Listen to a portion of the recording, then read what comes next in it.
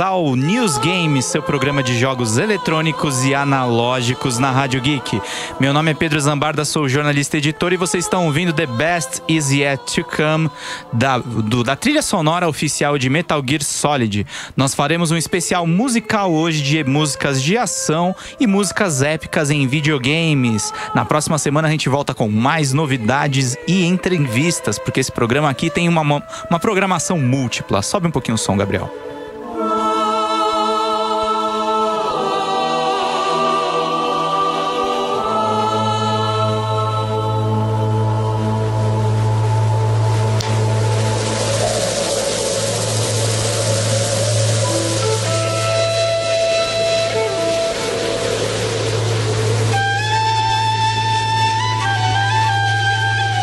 E eu estou com a minha correspondente de Curitiba, Monique Alves, tudo bem? E aí, Pedro, beleza? Beleza, nós vamos falar aqui as principais novidades. Vamos falar um pouquinho de música, Monique? Bora, é um prazer falar de música de games. Vamos lá, então. Tem uma novidade aqui que você mandou no e-mail anexa, que é sobre o Nintendo Direct. Vamos começar por ela?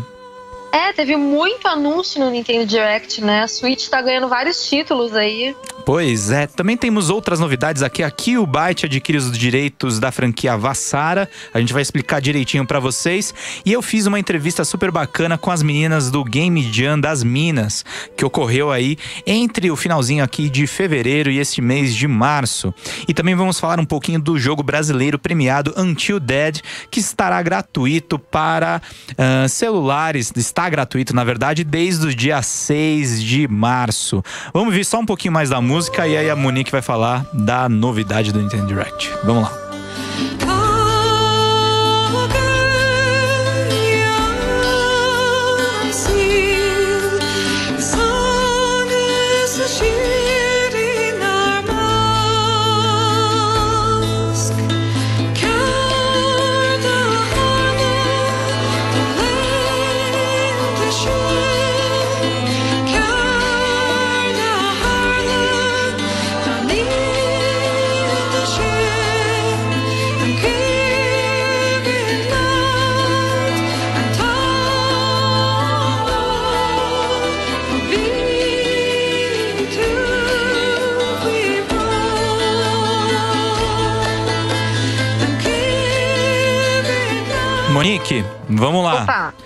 Quais jogos foram anunciados nesse Nintendo Direct além do Super Smash Bros?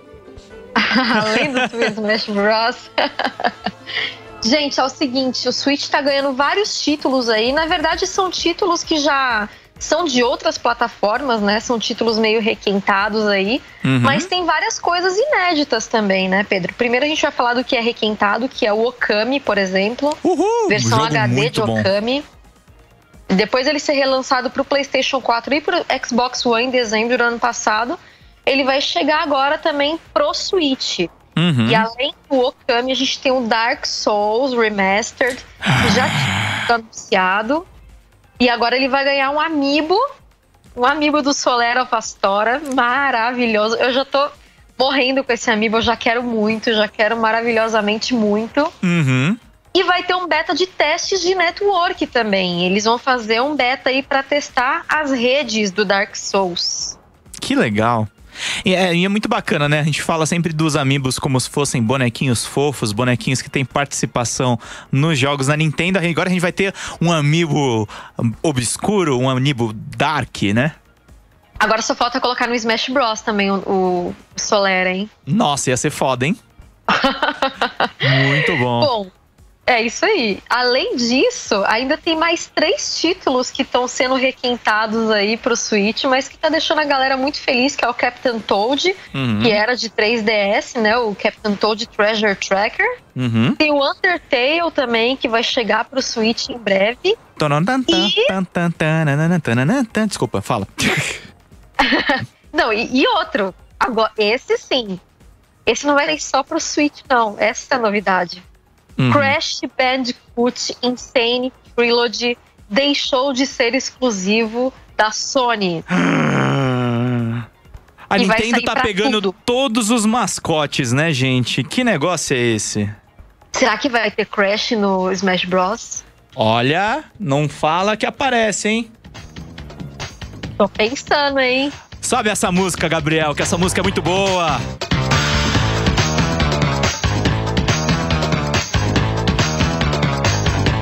Então é isso, gente. Teremos Crash no Nintendo Switch. Tem mais jogo, Monique? Tem, tem mais dois jogos requentados aí pro Switch. Hum. O Little Nightmares, que vai sair uma, uma edição completa, que já Uhum. inclui todas as DLCs. E vai ter uma versão do Pac-Man. Usando o amiibo do Pac-Man, você desbloqueia a carinha do Pac-Man no personagem do Little Nightmares. Uhum. E o South Park, a fenda que abunda a força. A Fenda que vai- abunda a força é um nome fantástico, né, gente? Pois é, pois é. E ele vai chegar pro Switch também. Ele vai deixar de ser um jogo de consoles domésticos para o console híbrido da Nintendo. É isso aí, você vai literalmente poder jogar esse jogo maravilhoso no banheiro enquanto espera ou no escritório do odontologista. Ficar Tem tudo a tranquilo. ver usar no banheiro esse jogo, né? Realmente, ele é meio escatológico, digamos assim. então, essas aí. Tem mais novidades, Monique? Aí, claro, teve Super Smash Bros. Com aquele teaserzinho no finalzinho, né? Isso, teve um teaser do Super Smash Bros. E o 3DS também teve algumas coisas anunciadas para ele, Uhum. que são o WarioWare Gold, Uhum. o Dylan's Dead Hit Breakers, Mario e Luigi Bowser's Inside Story, mais Bowser Jr.'s Journey, Uhum. Luigi's Mansion Remake Uhum. e as novidades aí pro Switch, que tem também o Sushi Striker, que é um jogo novo onde você faz sushis tipo overcooked, sabe? Sim. Só que com Só que sushis você muito vai- bom. Isso, só que você vai fazer sushis. E ele tem até modo multiplayer online. Uhum. Eles anunciaram também é, a versão, a edição de colecionador de Octopath Traveler Hum. e o joguinho Travis Strikes Again, No More Heroes. Que interessante, né? Uma variedade grande. Parece que o Switch vai ser o grande console da Nintendo com provavelmente aí um dos maiores portfólios ah, que um aparelho da Nintendo já chegou em sua vida, né? Vida útil. Com certeza.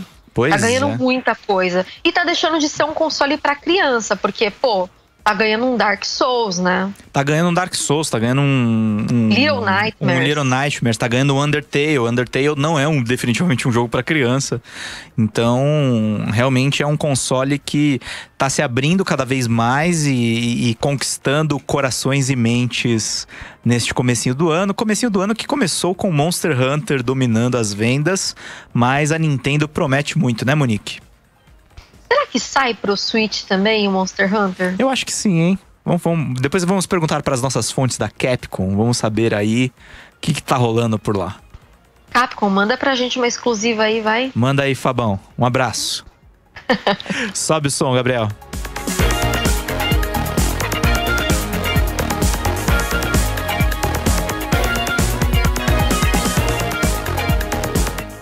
A outra notícia que nós temos aqui, a Killbyte, para quem não conhece, é a mesma desenvolvedora do jogo 99 Vidas, adquiriu os direitos da franquia Vassara, que é um shoot 'em up desenvolvido pela Visco Corporation para arcades e tá chegando para PC e consoles em 2019.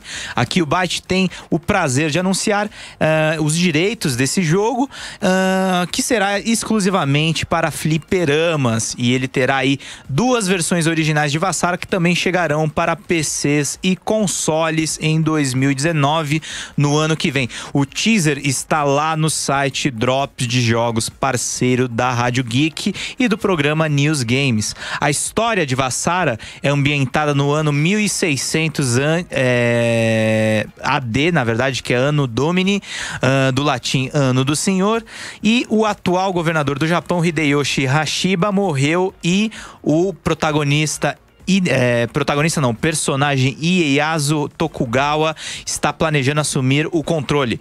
Três protagonistas estão lutando com todas as suas forças para evitar que Tokugawa a- a- execute os seus planos, mas a batalha não será vencida tão facilmente. É um game aí tradicionalmente oriental, que traz um sistema de dois botões para atacar e o ataque primário consiste em pressionar rapidamente o, o botão de tiro normal que atirará, disparará balas regulares. Cada personagem também tem um ataque de corpo melee, que pode ser usado segurando o botão de tiro. O ataque corpo a corpo só não gasta, causa grandes danos aos inimigos, mas também desviará todos os tiros que estiverem a caminho. O segundo botão é usado para lançar bombas. Uh, e aí tem um terceiro método de ataque que usa a barra Vassara, uh, a barra de especial, que é usada segurando por alguns segundos o botão de ataque primário. A, o ataque Vassara é uma versão maior do ataque corpo a corpo que causa grandes danos aos inimigos. É um jogo aí realmente muito simples, mas internacional que vai ser reproduzido aqui no Brasil por uma empresa brasileira, o que é uma sempre uma ótima notícia que não só o Brasil está produzindo jogos, mas está licenciando grandes nomes, nomes inclusive do Oriente. Sobe o som, Gabriel.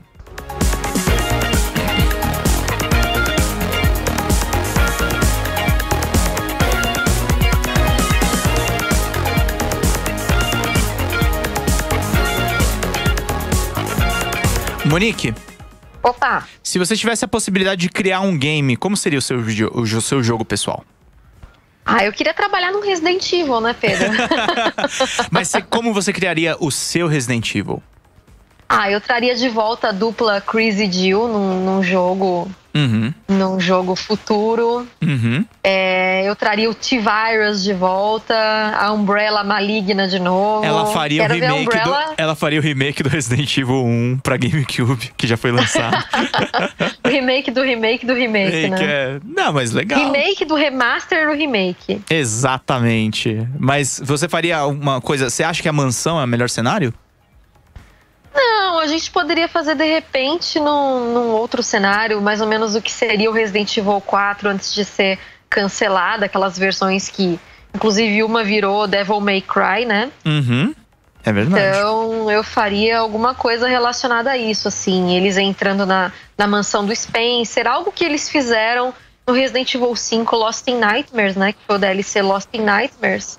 Uhum. Eu faria alguma coisa parecida com isso, assim, mas eu traria de volta esses elementos clássicos. Olha aí, a Monique é classiqueira na veia. E aconteceu. Você gosta de, do fato de, de existirem game jams, Monique? Você conhece um pouco? Não conheço, Pedro. Eu nunca, nunca fui numa, numa, numa game jam, nunca. E o que, que você acha do fato das mulheres desenvolverem jogos hoje?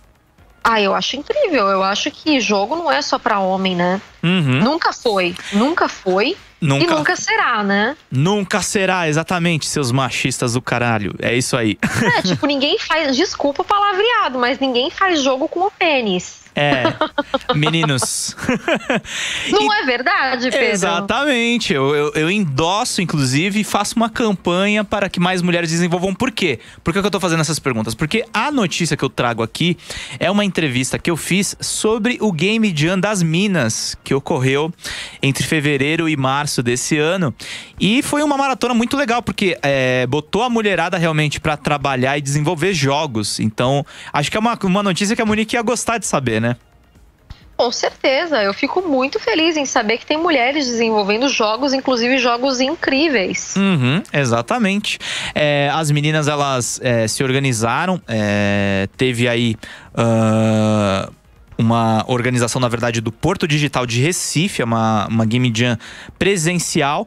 E a gente conversou aqui no News Games. Infelizmente eu não tenho o áudio, porque eu conversei com ela só por e-mail, mas a Tatiane Calisto é, fez uma oficina de Unity, conversou com a gente. A gente conversou também uh, com a Catarina Macena, que foi justamente a pessoa que entrou em contato conosco, porque a gente fez a divulgação uh, sobre a Game Jam. E ela, ela veio com uma vontade, uh, enfim, uh, pessoal de, de, de, ter um espaço em que as meninas pudessem se expressar e criar os seus próprios games.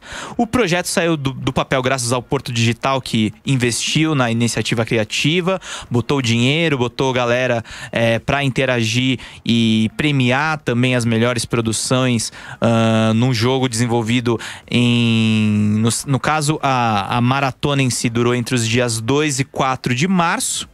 Uh, que as meninas colocaram o, a mão na massa uh, e aí tá tendo agora as, a fase de discussões dos games que começou aí no dia 10 uh, de trocas de experiências mesmo da Jans. As Jans não trazem um vencedor, mas é um, são eventos fundamentais uh, de vitrine dos desenvolvedores, né? Eles conseguem mostrar o que eles andam fazendo. E isso é sempre bacana, porque aí as pessoas podem uh, acompanhar o que está acontecendo na cena brasileira. A Catarina conversou com a gente, junto com a Camila dos Anjos, que também foi uma, uma especialista em 2D. Uh, dentro da Game Jam e elas ofereceram uma oficina de Unity. Sabe o que é Unity, Monique? Sim, sim, é uma ferramenta para desenvolvimento de jogos. Exatamente. Uma. É uma engine que está cada vez mais popular, que inclusive ela desenvolve para Nintendo Switch, desenvolve para todos os consoles, e ela é extremamente versátil e barata para os desenvolvedores entrarem nesse universo. Então, além da, da, da, da moçada é, entrar na maratona criando o seu jogo, elas ainda tiveram aulas para refinar os conhecimentos e desenvolver uh, no Porto Digital de Recife. Uh, a Catarina também explicou que os homens, é, se quiserem ajudar as mulheres nesse cenário, tem que abrir espaço, ouvir com respeito e não menosprezar a capacidade profissional e emocional da coleguinha de trabalho só porque ela é mulher. Uh, falando simples e na prática, ela explicou para mim, uh, a gente ainda vê mulher tendo que ralar o dobro que caras para provar que é competente nesse mercado. Ou seja, é uma realidade aí muito machista que ainda existe no nosso mercado desenvolvedor de jogos. Ela falou também um pouquinho uh, de todas as meninas envolvidas, vou dar aqui alguns nomes: a Clara Vasconcelos, a própria Tatiane Calisto, que eu falei que trouxe a oficina de Unity, a Camila dos Anjos, a Jéssica Bastos, a Erika Ferreira, a Erika Ferrer, Paula Python, Alessandra Ferreira, Jaquelina Alves, Bruno Oliveira, Carol Azevedo, Talita Oliveira, Camila Perazzo, a Mora Bethany, que é uma das maiores desenvolvedoras de games aqui de São Paulo, uh, a Camila Velar, a Drusila Holanda Gromberg, a Elane Neves e a Ramoni Evans, todas elas contribuíram para as mulheres uh, desenvolverem, sendo que a Game Jam da, da Porto Mídia, da, do Porto Digital de Recife, teve 199 inscritos, ou seja, 200, 200 pessoas no evento exclusivamente feminino. É muito legal saber disso, né? Não, e outra, a gente teve aí semana passada o Dia Internacional da Mulher. Exatamente. Né? Então foi bem perto a data, né? Tem tudo a ver. Uhum, exatamente. E aqui, mesmo se não tivesse Dia Internacional da Mulher, é sempre importante fomentar isso. Né, ah, mas é importante esse dia tão simbólico pra gente, esse dia de luta tão simbólico. Isso é verdade. É, é, é muito importante, é muito legal, né, Monique? Que, você queria falar um pouquinho mais sobre o Dia Internacional da Mulher? Não, assim, é, a gente falou naquela entrevista com a Júlia Rene, a gente falou bastante. Uhum sobre isso, sobre o lugar das mulheres, né? Uhum. Infelizmente, até hoje a gente escuta coisas do tipo, ah, isso não é para mulher, videogame não é coisa de mulher. Mulher gosta de WhatsApp e mulher gosta de joguinho de celular. E mesmo que gostasse de jogo de celular, gente, é jogo do mesmo jeito. Uhum. Entendeu? Qual é o problema? Eu não sei qual que é a discriminação com o jogo de celular, ô Pedro. Eu, não, eu realmente não entendo. que é um jogo tipo super Tetris, legal. jogo de plataforma. É? é, são, são jogos que entretêm do mesmo jeito e. O jogo não é um objeto de entretenimento? Então, pronto. Uhum. As pessoas criam um celeuma que, sinceramente, não dá pra entender. E é muito daquela cultura do, do nerdão mesmo de casa, né? Que o cara fica trancado e. E acha que a vida é só aquilo, né? Mas ele bem que quer uma namorada que jogue videogame, né? Exatamente, uma namorada que joga videogame e que não desafie a autoridade dele, porque ele é a sumidade do conhecimento gamer. Ou ela seja, tem que jogar videogame, mas ela não pode ser melhor do que ele. Não mesmo. Não pode ganhar, não pode saber mais, não pode organizar um evento contra as minas. né? Ele não quer uma namorada que jogue videogame. Ele quer uma boneca inflável, Monique. Exatamente. Então é isso, gente. Teve essa Game Jam muito legal. A entrevista completa você pode conferir lá no Drops de Jogos, na seção Indie. A gente tem aí uma entrevista completa. Lembrando também para os ouvintes que eu botei uma, é, na verdade, uma postagem no Facebook. Quem quiser participar do Anime Night, uh, a gente está com 10 pares de ingressos. O primeiro que falar que quer e mandar uma mensagem no WhatsApp da Rádio Geek, DDD 11 97313 6617 ganha um par de ingressos para esse evento que vai acontecer no dia 20, numa terça-feira, que eu não vou participar porque eu vou estar aqui com a Monique. Mas o Caio Catarino vai estar lá me representando e vocês vão poder assistir filme de graça. Se quiser saber mais detalhes, vá nas nossas reprises e ouça o Anime Station. Sobe o som, Gabriel.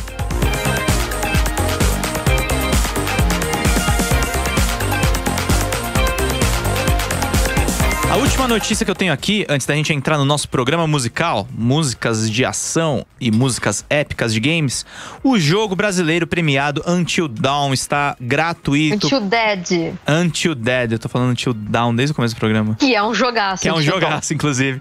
Until Dead, jogo brasileiro, produzido pela Monomito Game Studio, chegou para Android no dia 6 de março. A Monomito, para quem não sabe, é uma desenvolvedora de Campo Grande, Mato Grosso do Sul, e o jogo está disponível gratuitamente para dispositivos móveis do sistema Android nesse dia, desde o dia 6 de março. A dica do próprio estúdio é, que eles disseram na, na página do, do, Facebook é a oportunidade de jogar aventura de survival horror baseada nas histórias clássicas de zumbi com estética no ar. O game foi vencedor do Indie Prize, programa de bolsas de desenvolvimento independente de Seattle uh, como melhor projeto para mobile de 2017. Until Dead, não Until Down, chegou a ser disponibilizado anteriormente em dezembro passado, na versão Early Access. Agora o estúdio promete a versão completa do jogo para o público. Para mais informações de download, acesse dropsdejogos.com.br. Você está curiosa para jogar esse jogo, Monique? Posso fazer uma pergunta? Oi. Se eu jogar esse jogo, eu vou ser considerado uma gamer? Para os machistas de plantão? É, você tem a maior comunidade de Resident Evil do Brasil. Eu, eu, eu sou um novato perto de você. Galera. Eu me interessei pelo jogo, muito bom, muito bom. E vai tá, tá disponível aí para celular, ou seja, é o joguinho que tá junto com Tetris e Candy Crush. De graça, hein, gente? De graça. De graça, pô. Vai jogar aí, larga de frescura, para de falar de True Gamer. Eu, eu, esse papo me dá um, Embrulho é porque não tem né? troféu, né? conquista. É, não tem as, as chatices do console, né? Ai, ganhou troféuzinho porque você existe, seu babaca. Vamos falar então um pouco de música, vamos dar uma suavizada nesse programa altamente noticioso. Sobe o som, Gabriel.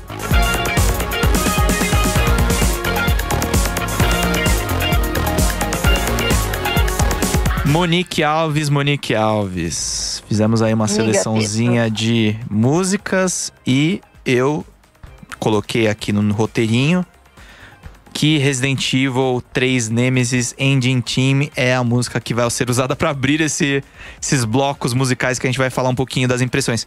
Por que, que você escolheu essa música? Então, Pedro, eu acho essa música uma das melhores músicas de encerramento de Resident Evil. Ela, apesar de você estar tá vendo a explosão da cidade, ela é uma música muito feliz. Né? Então ela, ela contrasta um pouco ali com tudo que você viu, todos os horrores que você viu em Raccoon City, né? Uhum. E ela é lindíssima, né? Eu gosto muito dela. Uhum. Eu acho que é uma das melhores músicas de encerramento e é por isso que eu escolhi. Que legal. E é uma música que, é, apesar da grande ironia, ela é uma música é, bonita, né? Inclusive, se você somar com o que aconteceu no Resident 2, né? Também foi Tem outra muitas, desgraceira, é, né? Tem muitas versões de piano dela que os fãs fazem, né? Hum, então essa legal. música acaba se tornando muito especial. Muitos fãs fazem a sua própria versão dessa música. Que legal. Inclusive, a gente lançou em 2011 hum. com parceria com a cantora sueca Aya Fortuna. Nossa. A gente lançou o Tribute Album de Resident Evil, tinha para download no antigo site. É, e tinha uma versão cantada por ela dessa música. Ela Nossa. colocou uma letra em cima da música, ficou muito legal, ficou muito bonito. Nós lançamos em parceria, você conseguiu isso? Sim, e a Capcom divulgou ainda. Nossa, que doideira, gente. A Monique é. Foi show. Foi quando esse ano? Foi quando que aconteceu isso? Qual ano? Foi em 2011. Nossa, que legal. Nossa, já faz Foi sete incrível. anos. Pois é, e a gente já tá pensando, a gente vem pensando na, na, no volume 2, mas acabou nunca saindo.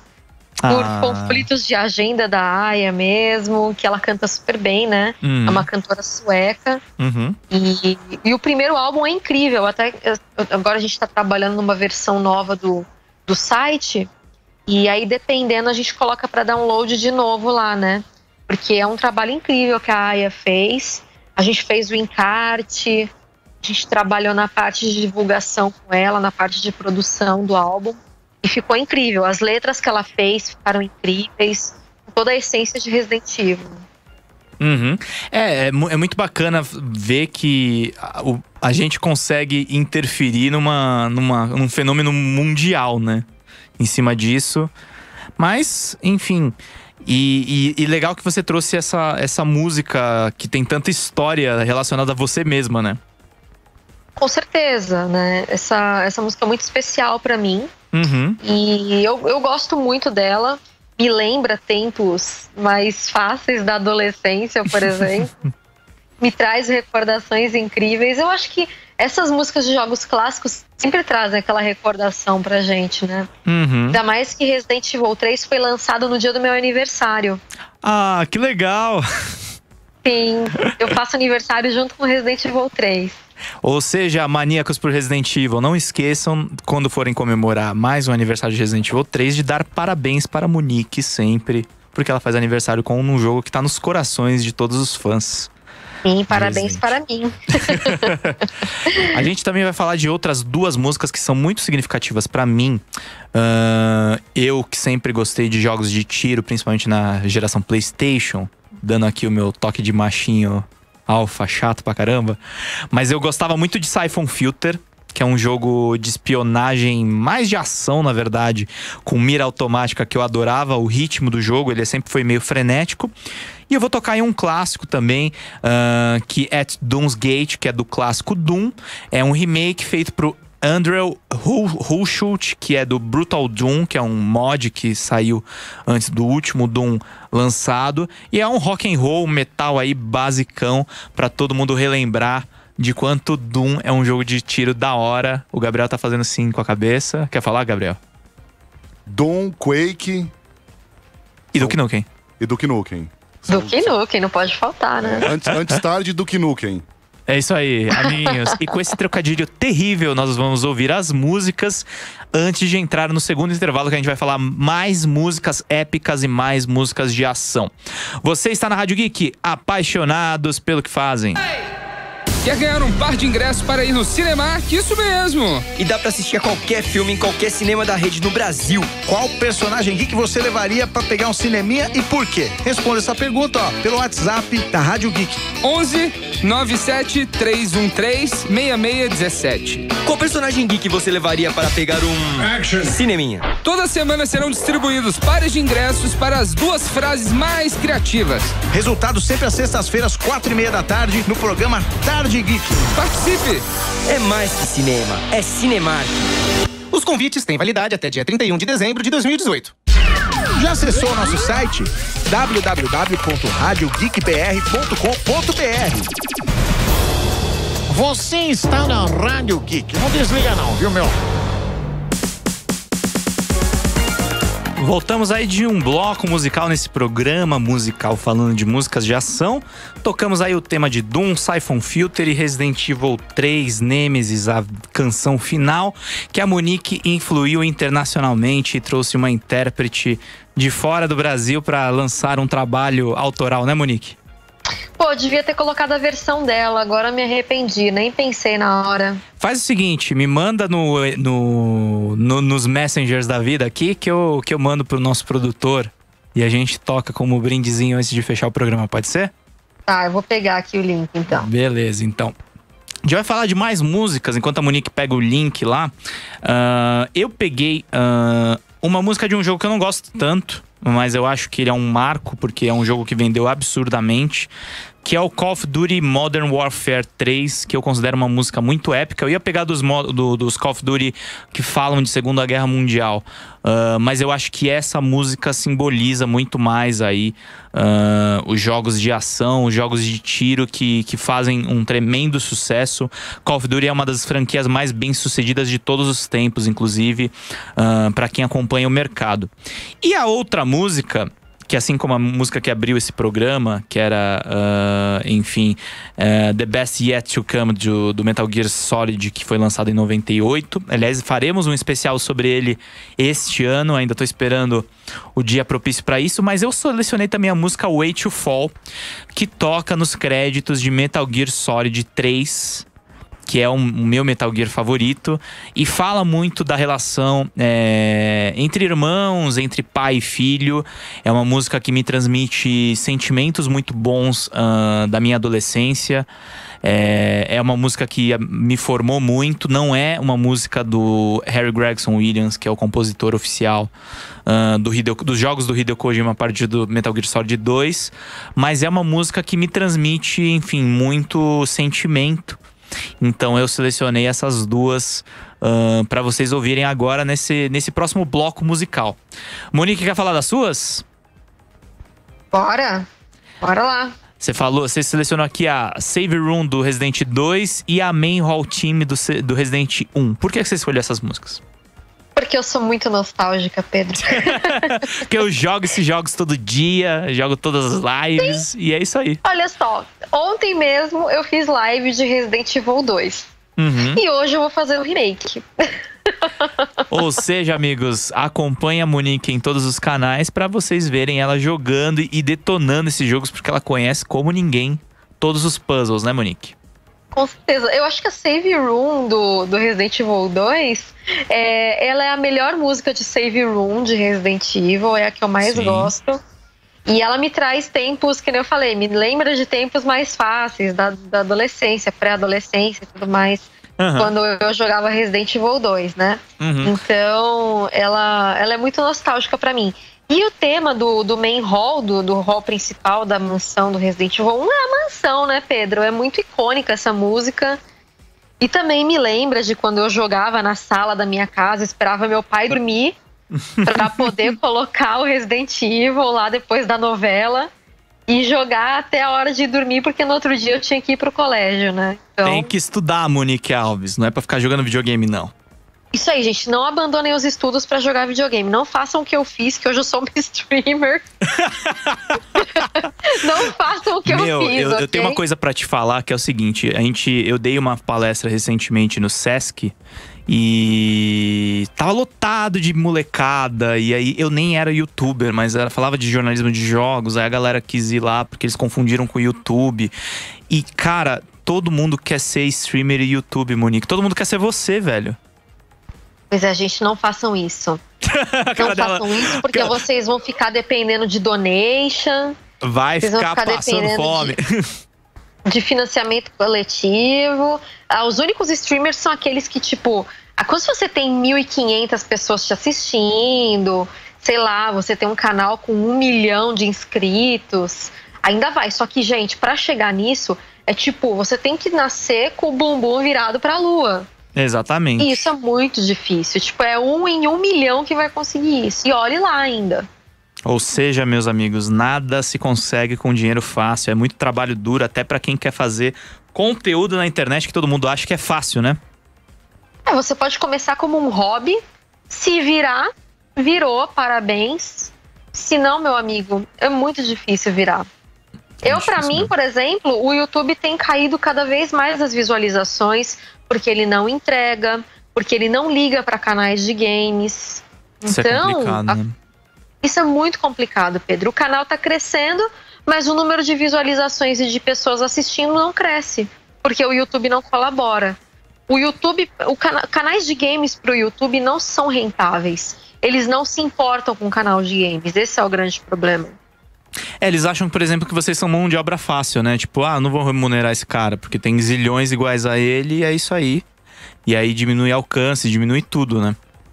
Exatamente. Eles criaram o YouTube Gaming como uma forma de falar assim: olha, tá vendo esses gamers aqui? Vamos deixar eles encostados dentro de uma sala e o resto a gente comemora no resto da casa, nos outros cômodos, entendeu? Uhum, tipo, literalmente segregou vocês Uh, dos outros produtores de conteúdo, né? É, só pra gente não perder a hora, e a gente vai tocar também a outra música que a Monique me mandou. Então, Gabriel, presta atenção. Gabriel Pazotto, Toque aí o segundo bloco. Lembrando sempre, você está na Rádio Geek, apaixonados pelo que fazem. Estamos com um programa especial de ação, mas as músicas são todas sentimentais. Tá todo mundo chorando aqui no backstage, né, Monique? Tava pensando nisso agora há pouco. Só traz música deprimente. Mas é, é, eu vou fazer uma intervenção muito rápida, porque o programa tá praticamente acabado, mas a Monique mandou aqui a versão de Biohazard de Aya Fortuna. Quer falar rapidinho sobre ela, Monique? Então, é, a versão que a gente fez foi em parceria com a cantora Aya Fortuna, que é uma cantora sueca. E a gente fez um tribute álbum, né? Onde ela colocou letra em várias músicas de Resident Evil. Foi lançado em 2011 pelo nosso site. Foi uma época legal. Então é super legal, vocês vão ouvir essa música cantada com letra inédita que a Monique lançou com exclusividade lá no Resident Evil Database e depois teremos The Phantom Pain, a trilha sonora, a trilha título de Metal Gear Solid 5. Vamos encerrando então, Monique? Bora, vamos encerrar, gente. Quero agradecer aos trabalhos técnicos de Gabriel Pazotto. Curtam a música de Aya Fortuna e Metal Gear para encerrar esse especial de jogos de ação, jogos épicos. Vamos fazer mais especiais musicais assim. Um abraço, Monique. Com certeza. Um abraço, abraço aos ouvintes. Pedro, abraço, galera. Tchau, fui.